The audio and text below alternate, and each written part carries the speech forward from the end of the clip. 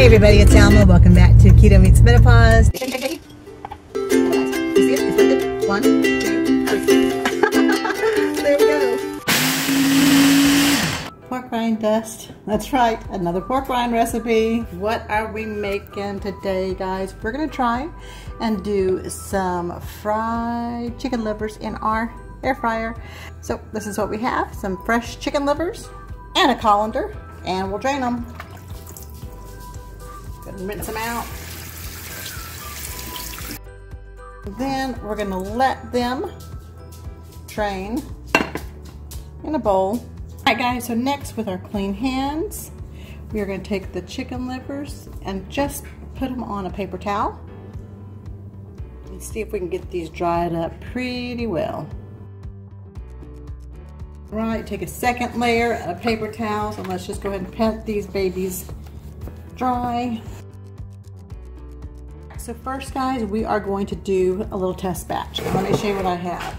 Let me show you what I have. I have three eggs and then I have a cup of almond flour that has in it some Slap Ya Mama seasoning and some adobo seasoning and some black pepper and that is it. So I have about a cup of almond flour, in my third container, guys, I have my pork rinds. And we've got our first piece of liver. Put it in our egg mixture. And immediately after the eggs, it goes into the almond. Get that nice and coated. You hear that snorting, that's Daisy. Then back into the egg mixture. Here, guys, it goes into the pork rinds.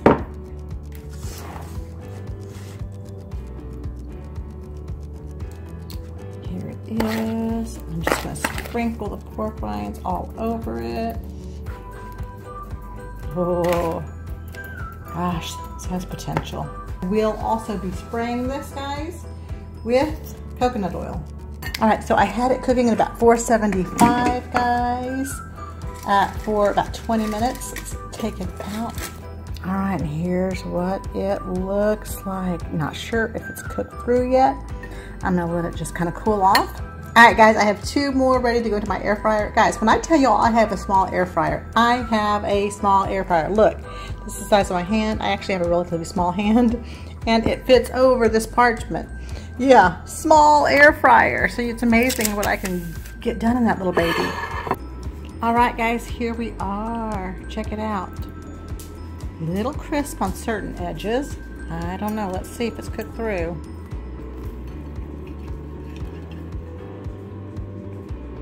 It looks cooked through. I'm gonna have a little bitesy here. Winner, winner chicken liver dinner, guys. Holy guacamole. That's some good eating. Yeah. I am doing my happy dance, guys. Wow. All right, guys. Um, this is good. Check it out, guys. If you like chicken livers, you need to give this a try. Have a blessed day, guys. Bye-bye. Okay, guys. It's going to be really sad for David when he sees this video pop up in his feed because he's probably not going to get any of it. It's so good. I might have to eat all this by myself. Now, this is going to be a very high protein meal, guys. So you need to fatten it up. You can obviously eat some avocado uh, as long as you have enough carbs for that. What I did is I'm making a dip. You can do this with mayonnaise. I did it with two tablespoons of sour cream, about half a teaspoon of some fresh garlic, and uh, chili powder, about an eighth of a teaspoon. And then we're just going to mix this together and hope it tastes good. Yeah, kind of like um, an aioli, but not. Like my baby spoon. I love baby spoons. We've had this conversation before. How many of you guys like eating certain foods with a baby spoon? Put it in the comments, all right? We're gonna play the next two. We still have about seven minutes on the air fryer. Have a blessed day, guys. Bye bye.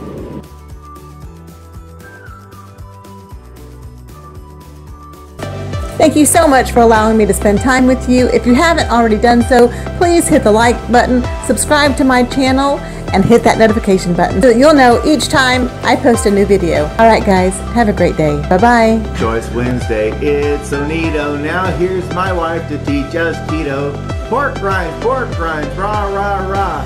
Carbohydrates, carbohydrates, blah, blah, blah. you kissed my teeth.